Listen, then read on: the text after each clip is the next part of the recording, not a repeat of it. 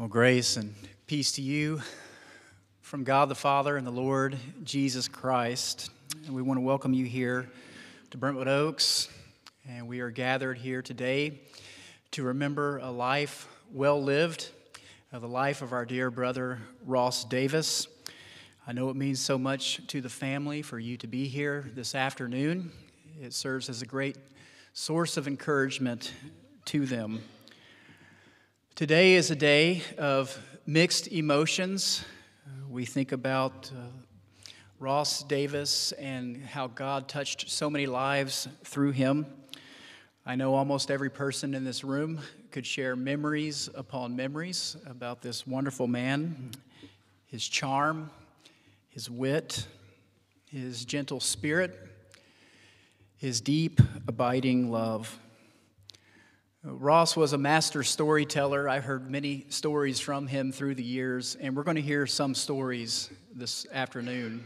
Uh, later on in the service, Rayford Walker will share memories that go back decades of serving with Ross here at Brentwood Oaks.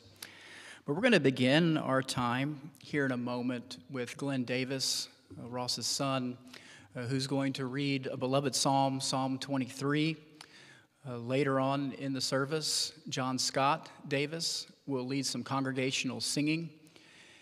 And then at the end of the service, Donovan Davis will read Psalm 127. But before Glenn comes up here, uh, I'd like to lead us in a prayer. Just some instructions uh, at the end of the service. There will not be an official police escort procession headed out to Austin Memorial Park. Uh, so, just following our time here, if you want to attend the graveside, please make your way to the car and head on to Austin Memorial Park there on Hancock for the graveside. Let's pray. Our Father in heaven, we come to you today in the name of our Lord Jesus Christ with thanksgiving in our hearts for your servant Ross Davis. We're grateful for what you taught us through him. We're thankful for his example of faithfulness through the years that's encouraged the faith of so many. We're thankful for the Davis family, their continued service in the kingdom. We're grateful for Leota and how you brought her into our lives through her marriage with Ross, and we pray blessings upon her family as well. We pray blessings of peace and comfort upon them all. We thank you for sustaining them over the last few months, especially.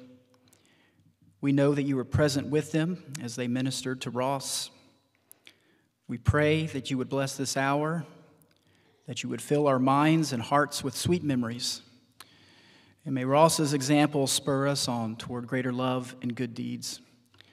We pray that your name will be glorified this day, and it's in the name of our Lord Jesus Christ that we lift up this prayer. And together the church says.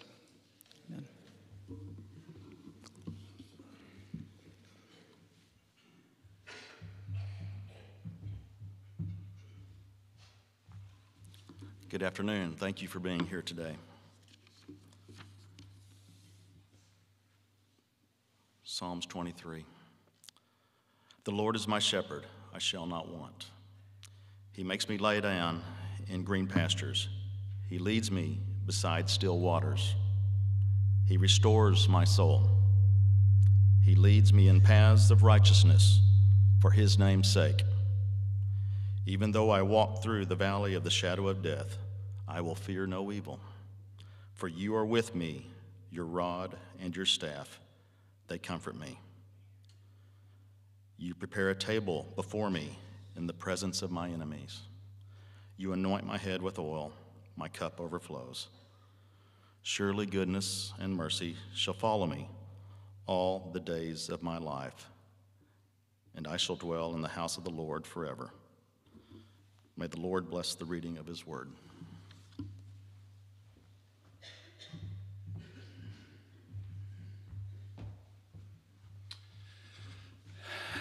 Well, I'm going to ask that we all stand as we sing this, this afternoon. All hail the power of Jesus' name, let angels prostrate fall. Bring forth the royal diadem and crown him Lord of. Bring forth the royal diadem and crown him Lord of all. Ye chosen seed of Israel's race, ye ransomed from the fall. Hail him who saves you by his grace and crown him Lord of all. Hail him you by his grace and crown him Lord of all. Oh, that with yonder sacred we at his feet may fall. We'll join the everlasting song and crown him Lord We'll join the everlasting song and crown him Lord This world is not my home, I'm just a passing through. My treasures are laid up somewhere beyond the blue. The angels beckon me from heaven's open door, and I can't feel at home in this world anymore. Oh Lord, you know. I have no friend like you. If heaven's not my home, well then, Lord, what will I do? The angels beckon me from heaven's open door, and I can't feel at home in this world anymore. They're all expecting me, and that's one thing I know. My Savior pardoned me, and now I onward go. I know.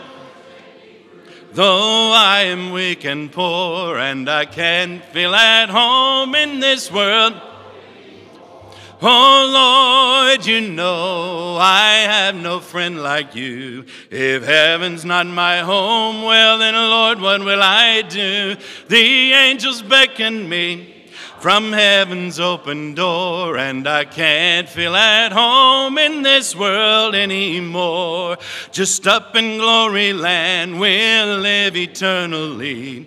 The saints on every are shouting victory. Their song of sweet drifts back from heaven's shore, and I can't in this world anymore. Sing it, church. Oh Lord, you know I have no friend like you.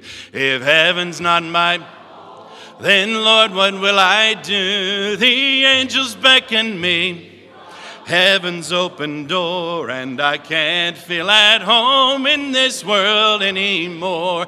Oh Lord, you know I have no friend like you. If heaven's not my home, well then, Lord, what will I do? The angels beckon me from heaven's open door, and I can't in this world anymore faithful love flowing down from the thorn covered crown makes me whole, saves my washes whiter than snow. Faithful love calms each fear, reaches down, dries each tear, holds my hand when I can stand on my own. Faithful love from above, to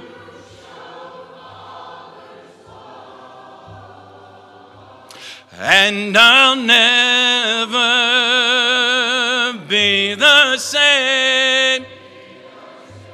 For I've seen faithful love face to face, and Jesus is his name.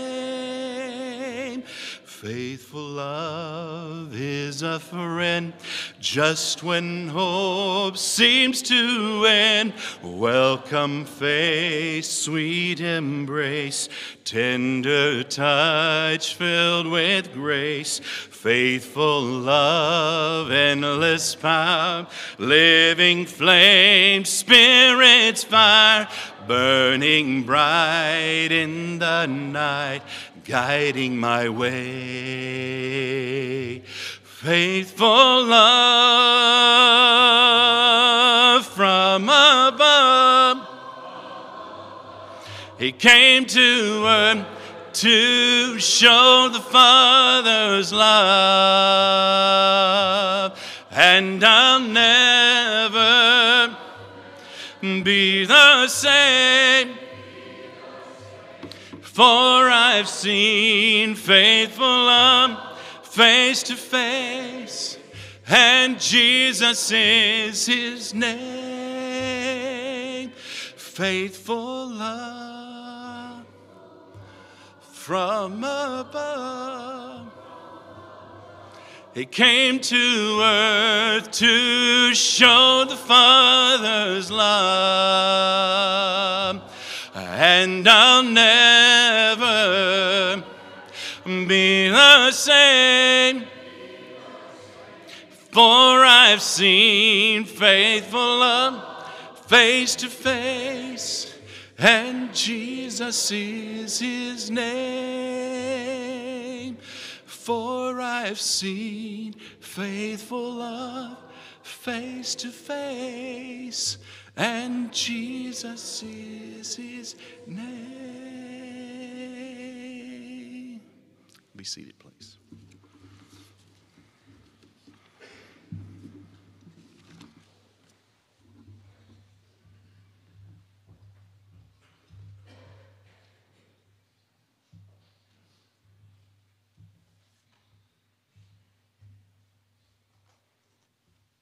Amen. Grace and peace to you from God the Father and our Lord Jesus Christ. Charlie mentioned that I was going to share stories from decades. At the visitation last night, someone asked me how long I'd known Ross. And at my age, I can't remember. no, in actuality, Ross and Joanne moved to Austin in 1953. I came to Austin in September of 1953. Ross was one of the first people that greeted me when I placed membership at University Avenue Church of Christ, where they were worshiping. So we have been friends, brothers, classmates, contemporaries, teachers for over 70 years. And it's been a great 70 years.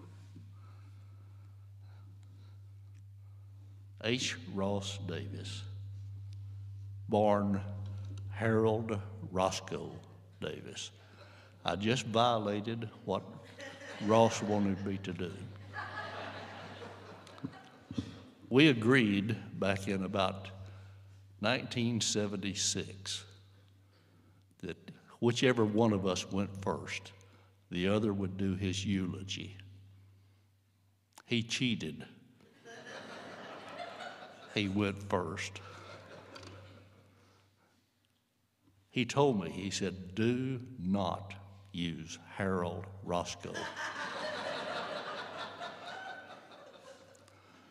So I said, okay, H. Ross Davis.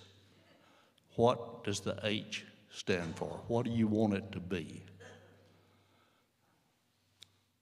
As quick as that, he said, How about handsome? so, handsome Ross Davis was my friend, my brother. Ross was 93 years eight months and 12 days old when he died. He was a true Christian gentleman. a member of the Brentwood Oaks Church of Christ for 67 years. He and Joanne actually placed membership here, not here at the old building, on July the 1st, 1956. He was a teacher, a deacon, a servant. He served as an elder from October the 16th of 1969 until he retired from the eldership after 35 years.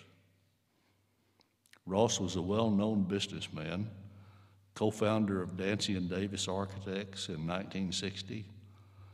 He was a beloved artist and storyteller.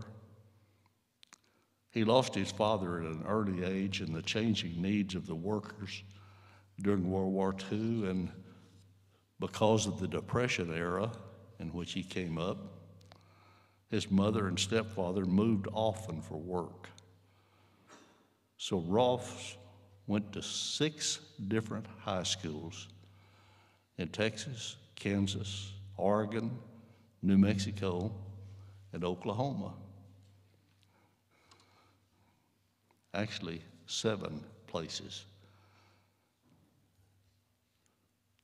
That moving, the reacclimation, taught him to be a people person. Ross never met a stranger. He had a great repertoire of funny and old school wisdom, stories, jokes that he loved to share. He developed an alternate persona. I'll let you talk to the kids about that. I'm not going to, to embarrass them by even imitating. But ask them about all, Ross's alternate persona. They'll be glad to share that with you with red faces.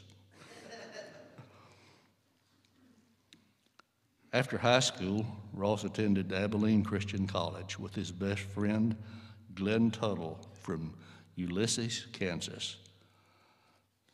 Not only was he voted freshman favorite, but he was baptized into Christ on November the 1st, 1948. It was at Abilene Christian where he met the love of his life, Joanne Merriman of Happy, Texas. They married on October the 4th of 1952. He subsequently graduated from West Texas State University with a Bachelor of Science in Mathematics. There he was voted most handsome, ergo the H. and then he and his new bride moved to Austin in 1953, where he started at the University of Texas. After serving in the Army, where he was stationed in Germany for a while, he returned to Austin to the University of Texas and graduated with a Bachelor of Architecture for, and then practiced architecture for 45 years. He was a Legion of Honor member of the Northeast Austin Kiwanis Club, where he served in every capacity for over 60 years. And one of his points of pride was that he had a certificate showing that he had perfect attendance for well over 30 years. I think his last one was 35 years, if I'm not mistaken. But when Ross would travel, he'd make sure to visit local Kiwanis clubs so that he could get a certification to take back to the Northeast Kiwanis Club to show that he was attending and participating.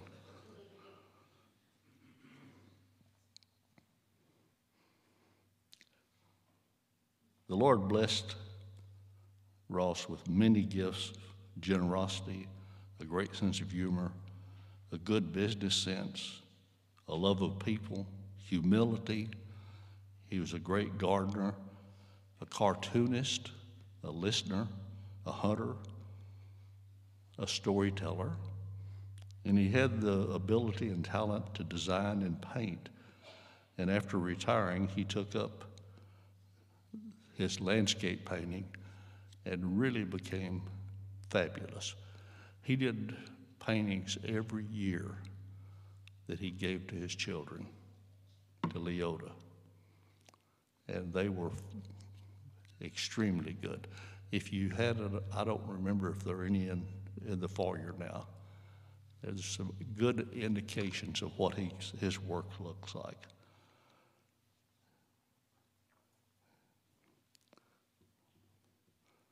He had the ability to, to meet a family member or a friend where they were, to speak to them about their needs. And he carried with him a sense of wisdom that helped him help them wherever they were. Ross also loved time spending, loved spending time with his family at the ranch in San Saba. In regard to his wonderful talent in architecture, many people in Central Texas may be either living in homes or worshiping in a house of, or church that Ross designed during his professional career, like he did this building, like he did the apartment complex at Village Christian Apartments. That's a mission of this congregation. He designed throughout his professional career and made no effort to keep people advised of just how much he contributed, both in his talent and his ability. Most of all, Ross loved his family, his earthly family, his church family. In his final years, his favorite thing each week was to be here at church with this community. He literally could not wait until Sunday morning. When they'd go by to pick him up, he would be sitting dressed for church, ready to come. He usually sat right back over in this area. He had a walker The family knows the story here. Since it was a walker, he named it Rayford. Later on, he got another walker, a smaller, lighter one. And since it wasn't the hefty walker that I am, he named it Avalee after my wife. I'm not sure that Avalee ever forgave him for that. Ross was born on June 30, 1930, in Los Angeles, California, to Frank and Laurel Davis and Margaret Maris Davis. He was the youngest of two children born to them. He was preceded in death by his first wife, Joanne, of 55 years, the mother of his children. He was preceded by his older sister, Shirley Henderson of Fort Bragg, California his younger half brother, Jim Shockley of Gold Beach, Oregon. He survived by the new love of his life, Leota Clendenin Davis. Of four children, Deanne Davis, Donovan Davis and his wife Jeanette, Glenn Davis and his wife Cynthia, all here of Austin, and John Scott Davis and his wife Paula of Granbury.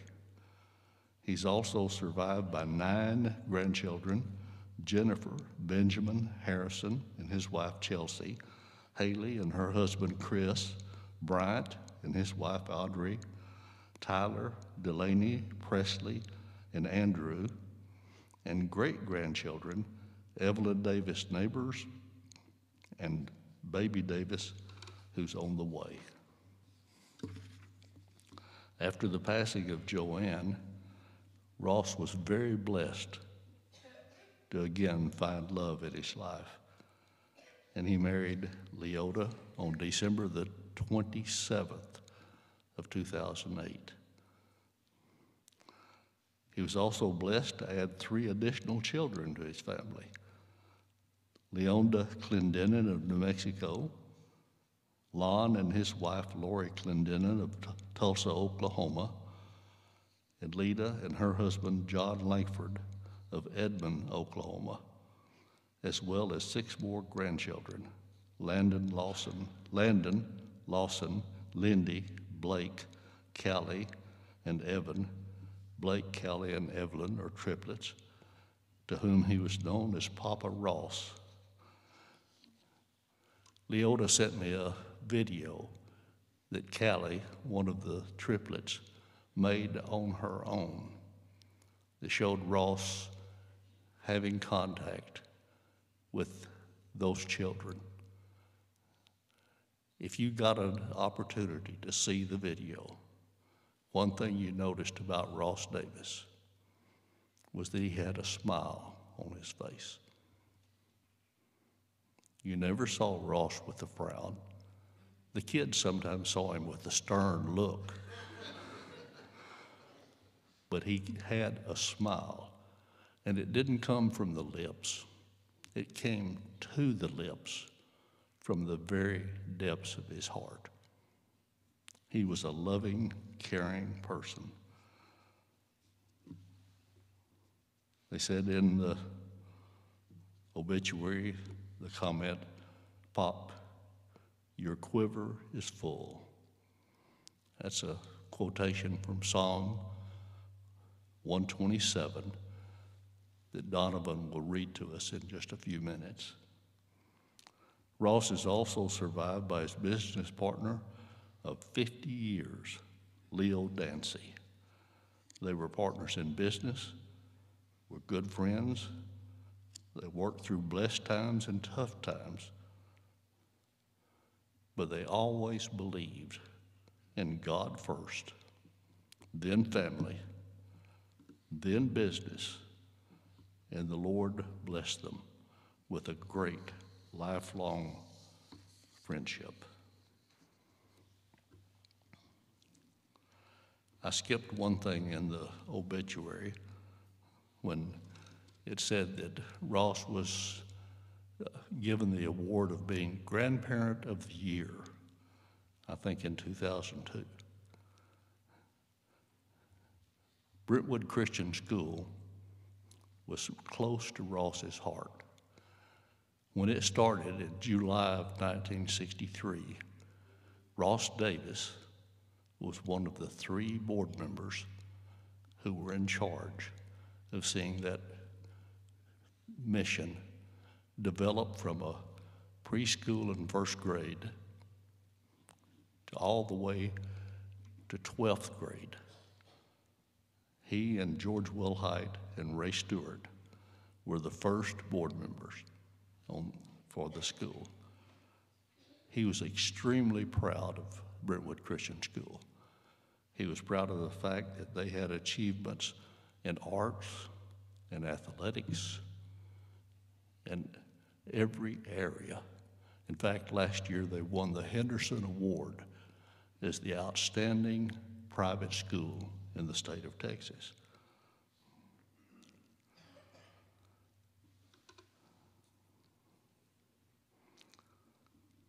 I mentioned that Ross spent most, some of his military time in Germany. While he was there, he learned a smattering of German, just enough to be very dangerous. He loved to look out for Tammy Driscoll, who's a member of our congregation here. She and her husband were in Germany as missionaries for a while, and Ross would approach her, cite John 3:16 in German, and then attempt, underline the word attempt, to carry on a conversation in German that might include words like, Your treehouse is beautiful. it, it was something that you had to really listen to.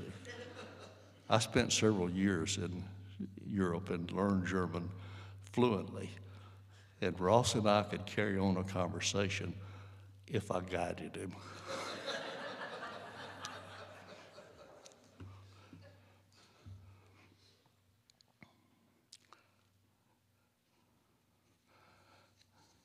In the obituary, Ross is noted as a, a hunter. He, and he was a very good hunter. He and I shared a deer lease uh, for many years, just north of Fredericksburg. One of our greatest joys was to disappear over a weekend, go out on Friday afternoon, spend Friday night and Saturday, be back here for church Sunday morning, disappear after lunch and go back out until dark on Sunday. Ross was a great rifle shot. I mean, he, he was excellent. He was one of the poorest pistol shots I've ever seen. One year, I bought a Colt Frontiersman 44 caliber, pearl handled, silver plated revolver. Took it out. We had three other guys that hunted with us out there from time to time. And so on during the afternoon one day when we were not out hunting, we decided we'd break in our pistols. My pistol had an eight inch barrel. And Ross looked at it. He said, I've never fired one of those like that. I said, Have at it. He shot. I went to look at the bullseye. Perfect shot. I mean, it was in the center. You couldn't have asked for a better shot. The other guy said, Wow, let's see another one, Ross. He said, No, Rayford, here's your gun. I don't want to embarrass anybody. Later on, they were ribbing him about it being an accident. So we set up a little uh, practical joke for them. He said, Come on out here. This, Ross and I developed this together. He said, Come on out here and I'll show you what I can do. I had taken the target and had put a bullseye right in the center.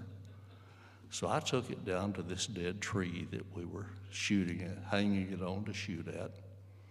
I hung it. Everybody got behind Ross to watch him. He shot this way. He shot this way. He shot this way, deliberately missing the target.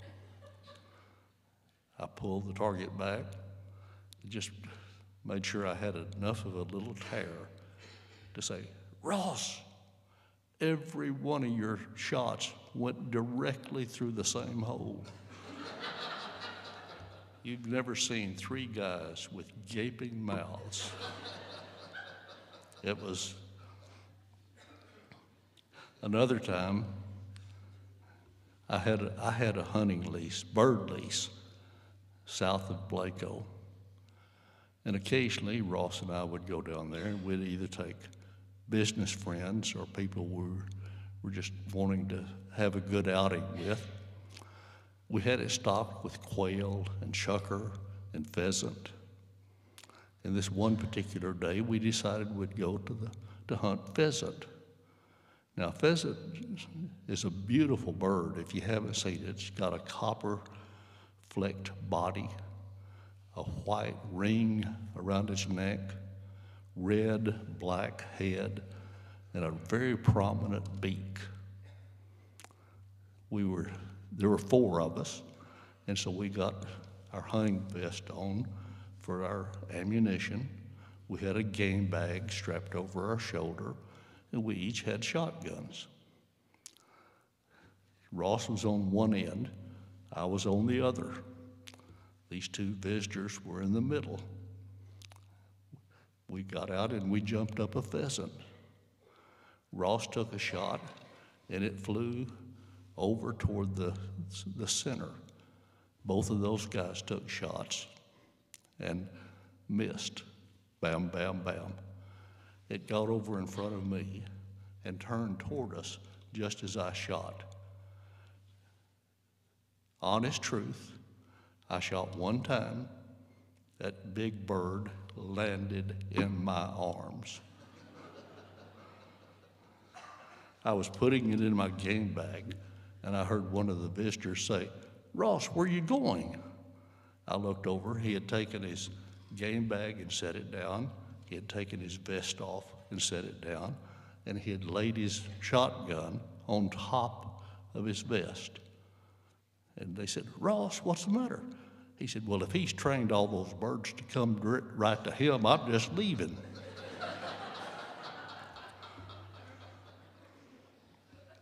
he knew how to make any situation a good story.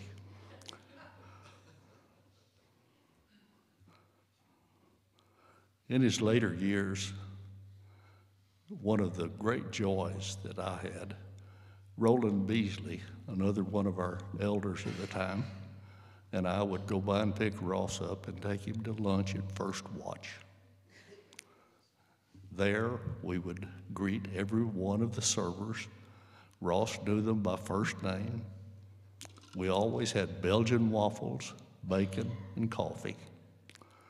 And Roland frequently has told me, he said, I'd sit there for the two hours we were there.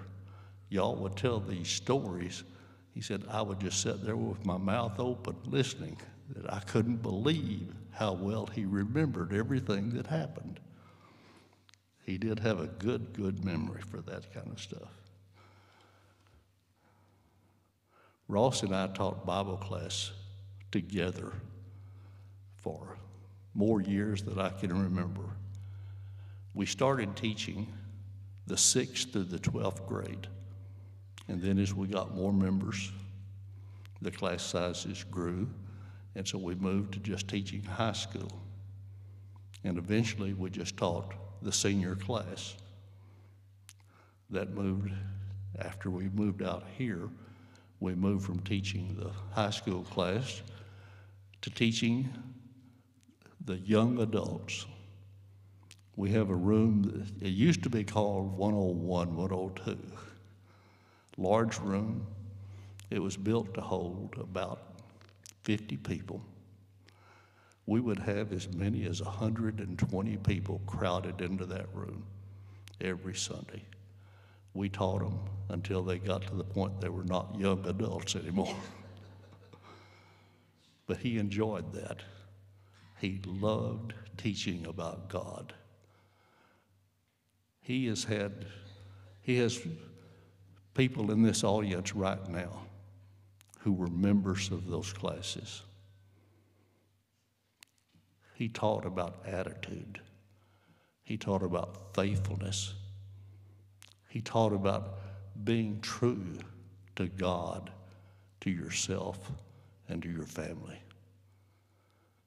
we have had the mutual pleasure and benefit over all these years for members of those classes to stay in touch with us, to take us to lunch, to call us, just to say thank you, just to say we remember. Those young men, young ladies are really fantastic people.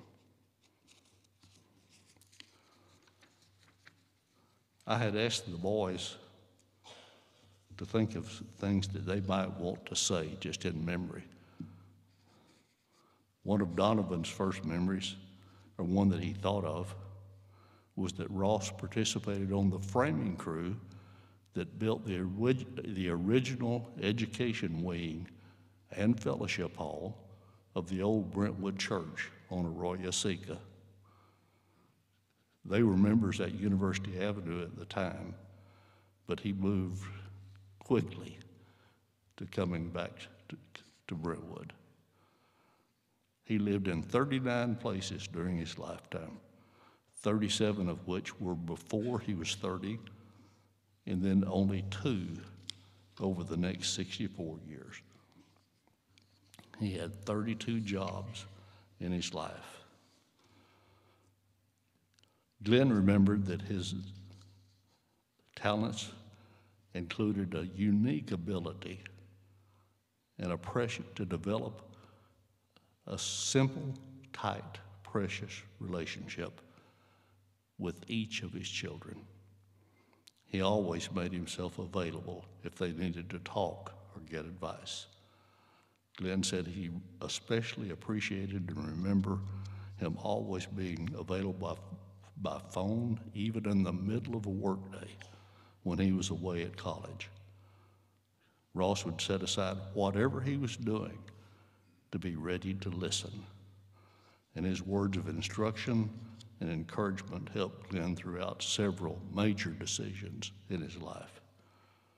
He said he's thankful for the friendships that he had with Christian men and their ability to include him in the relationships.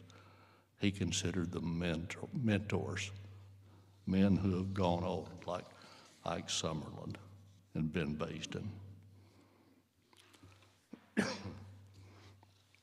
John Scott says our dad was a true patriarch. He showed us how to be a man, how to be a loving husband, father, and grandfather. That would have to be, include being a good daughter. He was also usually the biggest kid in the room. He was fallible, vulnerable, and decent. He was a faithful man of God, and along with their mom, raised his children to love the Lord. Each one of his children, their spouses, and all of his grandchildren would agree that Dad, Pop, Papa, and Papa Ross was their hero.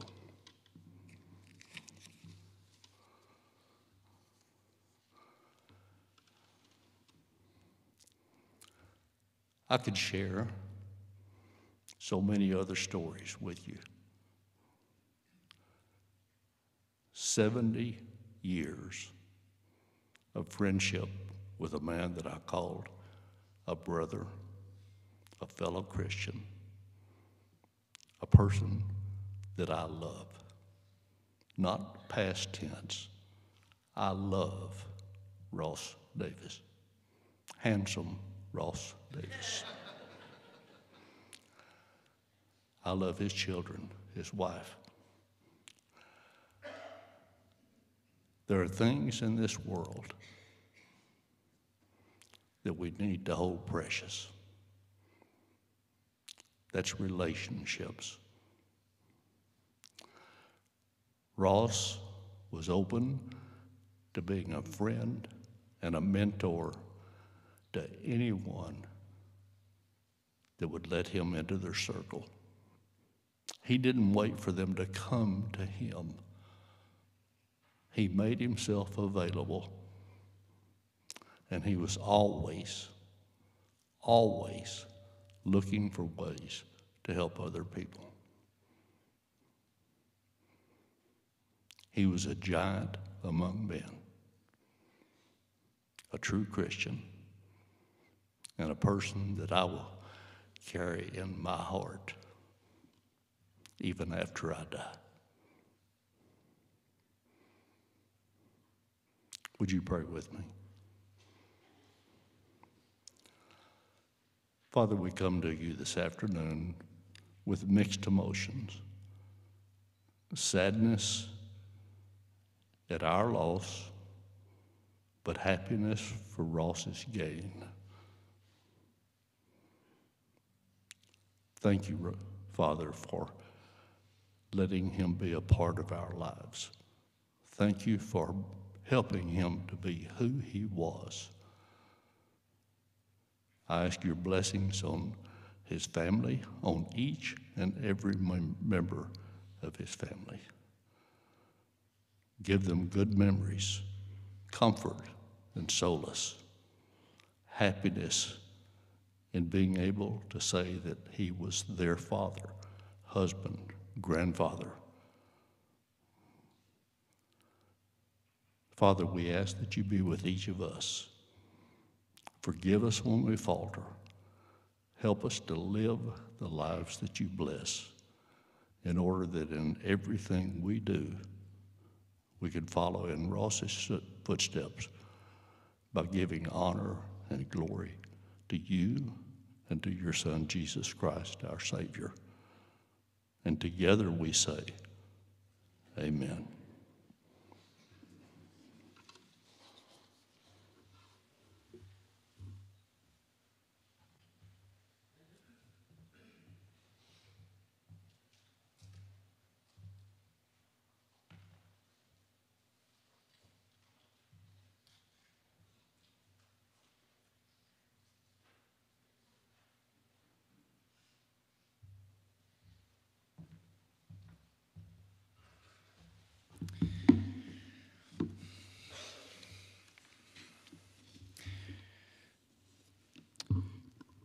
Thank you, Rayford, for that beautiful, beautiful tribute uh, to Ross, handsome Ross.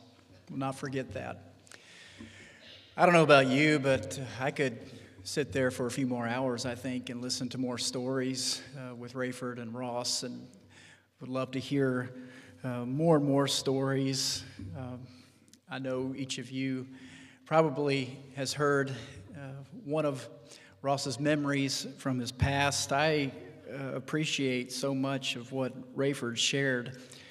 I was actually torn as to what facet of Ross's life to really focus on as a word of encouragement from Scripture. I mean, it could be his love of his family as a window into God's heart God's love. It could be his sweet spirit and disposition, and of course, his sense of humor. Uh, one story I want to share is not my own story, but it comes from Roger McCowan, former minister here at Brentwood Oaks. And I actually talked to Roger a couple days ago. He's watching through the stream. Uh, but he shared with me uh, years ago that uh, he was with a small group of people out in the foyer, and uh, Ross, with a very quick wit and turn of a phrase, just announced uh, Roger, I want you to know that every sermon that you preach is better than the, the next. So, um, and no one was laughing harder than Roger at that. We could talk about uh, Ross as an artist, as a reflection of God, the master artist who infused this world, his creation, with creativity and beauty and order. But what I would like to focus on just for a few minutes are these walls here in this room. I'd really like to focus on Ross as the architect because our God is certainly an architect. I'd like to camp out in two places in Scripture. The first one is Acts chapter 17, where Paul is speaking to the Athenians. He's addressing them on Mars Hill in the shadow of one of the great architectural marvels the world has ever known uh, the Parthenon, the temple dedicated to the goddess Athena, the goddess of wisdom. But it's in Paul's speech where he really speaks to God as architect who built, framed, designed a beautiful world. And you think about the work of an architect, the imagination, the planning, the accounting for different angles and different weights and materials, well, we see that God was indeed the master architect. Let's hear the word of God from Acts chapter 17, beginning in verse 22. So, Paul, standing in the midst of the Areopagus, said, Men of Athens, I perceive that in every way you are religious. For as I passed along and observed the objects of your worship, I found also an altar with this inscription to the unknown God. What therefore you worship as unknown, this I proclaim to you. The God who made the world and everything in it, being Lord of heaven and earth, does not live in temples made by man, nor is he served by human hands as though he needed anything since he himself gives to all mankind life and breath and everything. And he made from one man every nation of mankind to live on all the face of the earth, having determined allotted periods and the boundaries of their dwelling place, that they should seek God and perhaps feel their way toward Him and find Him. Yet He's actually not far from each one of us, for in Him we live and move and have our being. As even some of your own poets have said, for we are indeed His offspring. Being then God's offspring, we ought not to think that the divine being is like gold or silver or stone, an image formed by the art and imagination of man. The times of ignorance God overlooked, but now he commands all people everywhere to repent, because he has fixed a day on which he will judge the world in righteousness by a man whom he has appointed. And of this he's given assurance to all by raising him from the dead. Well, it's an amazing speech that Paul gives. And the verses that really jumped out to me are verses 24 through 27. How God, the Lord of heaven and earth, made, designed, planned out the world and gave boundaries to nations, giving them dwelling places on the face of the earth. In other words, the Creator made a space. The Creator makes a space for people. Right now, we are gathered in a space, and uh, this space has Ross's handiwork, his fingerprints all over it, uh, not to mention countless buildings, homes, and office spaces here in Austin, Texas. Uh, this is a beautiful space here. In fact, that's the, the comment we often receive first from visitors. Uh, they can't believe that this place, they talk about the grounds, the beauty of the grounds, but also the beauty and the unique, uniqueness of this auditorium with all of its natural light. And I had the same impression when I first saw it. It is a unique space, but certainly a testimony to Ross's talent and those who are working with him in making this beautiful space. Now, I'm not an architect, I'm not a builder, uh, but I can imagine there's a high level of satisfaction knowing something that you have designed and seeing something from your imagination and, and the blueprints that you've drawn up come to life. And we think about this space in particular. If these walls could talk, what would they say? What memories would come about from this space? The conversations, the hugs, the tears the weddings, the funerals and the baptisms, the friendships, the budding romances, the sad goodbyes, the misspoken words and moments of forgiveness and reconciliation, the singing, the laughter, the communion with God and with one another the thousands upon thousands of people who have worshiped in this space, not to mention the thousands and thousands of students who have come through Brentwood Christian School with so many chapels taking place right here where we are. Ross had a hand in this. Ross made a space. In some ways, there's nothing really special about these walls outside of the beauty because the church is a people. It will always be a people. It's a temple of the Spirit, a temple not made with hands. But on the other hand, we are gathered in a space, a space that took planning, care, love, perseverance, teamwork, and wisdom. Ross made a space. But it wasn't just this kind of architecture that he was involved with. Ross made a space and he made a home. He made metaphorical walls for his family that were built with love, care, uh, discipline, and faithfulness in order for his family to flourish. And that extended to his wife, his late wife Joanne, and his wife Leota.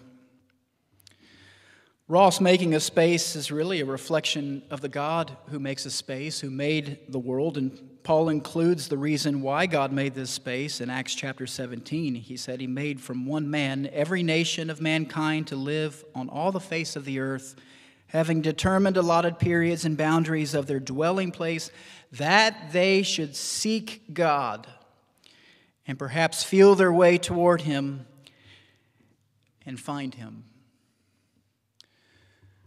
The picture that that paints of our God is the God who makes a space for relationship, the God who is pursuing us, that we should seek Him and find Him in this space that He's created. And God's not far from us. God's not far from us right now. God is very, very near in His good creation in this space. This is the joy of the architect who makes a space for relationship. That's what our homes are for. It's not just to protect us from the elements, from the rainstorms, but to nurture relationship. It's not what our office spaces are for. It's not just for producing widgets.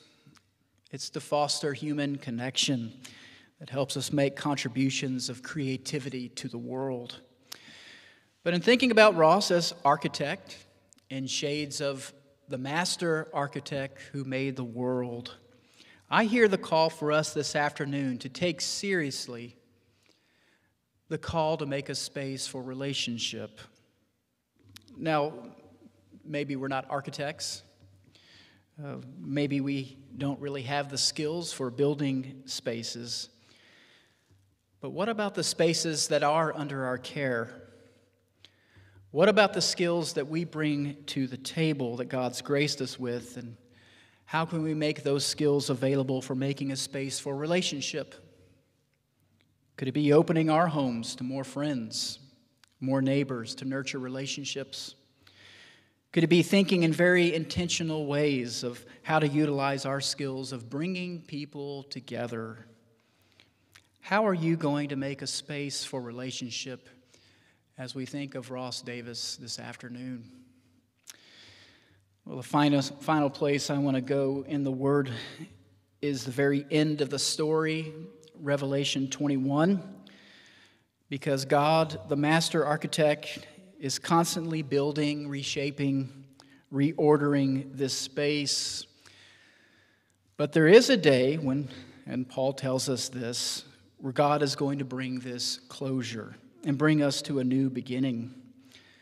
God, the master architect, is going to finish the product with a new heaven and a new earth, a new Jerusalem. And I'll read this passage in Revelation 21 as a fitting tribute to Ross Davis, a good and talented architect, but even more importantly, a faithful servant of Jesus Christ. But also, I want to share this as a word of tremendous hope for us who are left behind to carry on the work. One day, God's final project will be complete through Jesus Christ. Let's read about this project in Revelation 21, verse 9. Then came one of the seven angels who had the seven bowls full of seven last plagues and spoke to me, saying, Come, I will show you the bride the wife of the Lamb. And he carried me away in the Spirit to a great high mountain and showed me the holy city, Jerusalem, coming down out of heaven from God, having the glory of God, its radiance like a most rare jewel, like a jasper, clear as crystal. It had a great high wall with 12 gates, and at the gates, 12 angels and on the gates, the name of the, of the 12 tribes of the sons of Israel were inscribed. On the east, three gates. On the north, three gates. On the south, three gates. And on the west, three gates. And the wall of the city had 12 foundations. And on them were the 12 names of the 12 apostles of the Lamb. And the one who spoke with me had a measuring rod of gold to measure the city and its gates and its walls. The city lies foursquare, its length the same as its width. And he measured the city with his rod, 12,000 stadia. Its length and width and height are equal. He also measured its wall, 144 cubits by human measurement, which is also angel's measurement. The wall was built of jasper, while the city was pure gold like clear glass. The foundations of the wall of the city were adorned with every kind of jewel. The first was jasper, the second, sapphire, the third, agate, the fourth, emerald, the fifth, onyx, the sixth, carnelian, the seventh, chrysolite, the eighth, beryl, the ninth, topaz, the tenth, chrysoprase, the eleventh, jacinth, the twelfth, amethyst. And the twelve gates were twelve pearls, each of the gates made of a single pearl and the street of the city was pure gold, like transparent glass. Brothers and sisters, our God was and is an architect. Ross Davis has finished his part in the project with a life devoted to God, a life of faithfulness. But Ross still has a part to play as he awaits, like the rest of us, the final day when God will bring about his new space, a new beginning, something that began at the empty tomb that will be brought to completion as the Lord returns, a space for us to dwell fully in the presence of God and of the Lamb, a house that only God could build. We're going to hear now a psalm from Donovan that speaks of this house with a reading of Psalm 127, a psalm of ascent.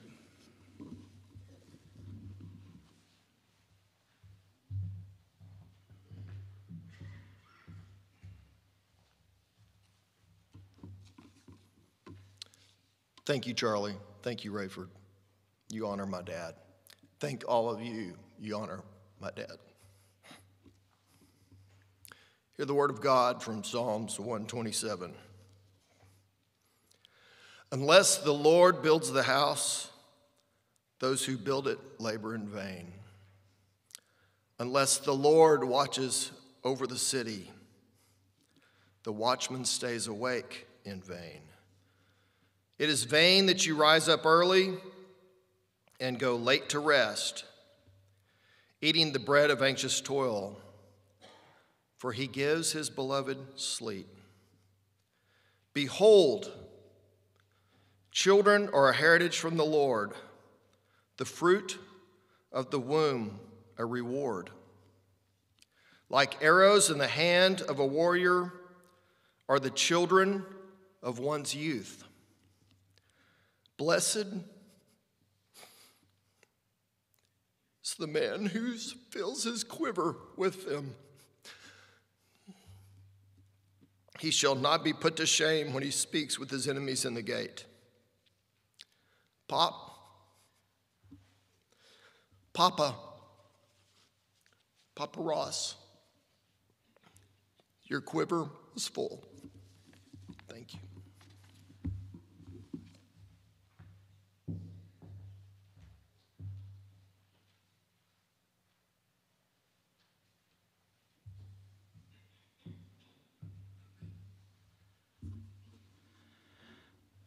If you'll please stand as the, the family leaves, we'd like to bless them with this word, this word with which Moses blessed the children of Israel. The Lord bless you and keep you. The Lord lift his countenance upon you and give you peace and give you peace. The Lord, the Lord make his face to shine upon you and be great and be gracious unto you and be The